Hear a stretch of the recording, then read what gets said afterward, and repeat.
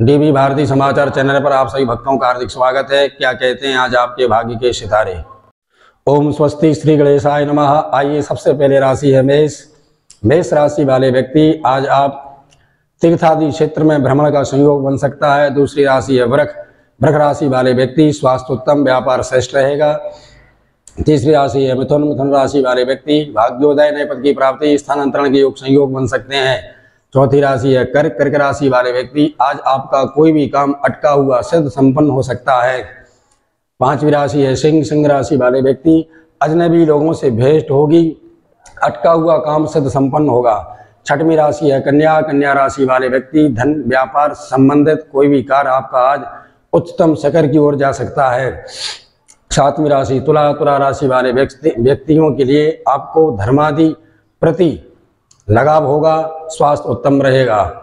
आठवीं राशि वृश्चिक वृश्चिक राशि वाले व्यक्ति, भूमि से संबंधित क्रय विक्रय करने पर लाभ होंगे। बच्चों के भविष्य को लेकर व्यापार आप प्रारंभ कर सकते हो। नवम राशि धनु धनु राशि वाले व्यक्ति, भाग्योदय, स्वास्थ्य उत्तम, व्यापार श्रेष्ठ रहेगा। दसम राशि है मकर मकर राशि वाले व्यक्ति, कंक्रीट उद्योग आदि जगत से लाभ, सफलताएँ हाथ लगेंगी। ग्यारहवीं राशि है कुंभ कुंभ राशि वाले व्यक्ति राजनीतिक क्षेत्र से सफलता मिलेगी। कृषि आदि का कार्य करने पर भी आपको आज विशेष अवसर लाभ के प्राप्त होंगे। बारहवीं राशि मीन मीन राशि वाले व्यक्ति भाग्योदय नए पद की प्राप्ति, स्थानांतरण के योग संयोग बन सकते हैं। स्त्री पक्ष से कुछ आपको लाभ भी प्राप्त हो सकता है। जय श्री कृष्णा, जय श्री राधे, जय माँ पीताम्बरा, जय माँ बिंदवासिनी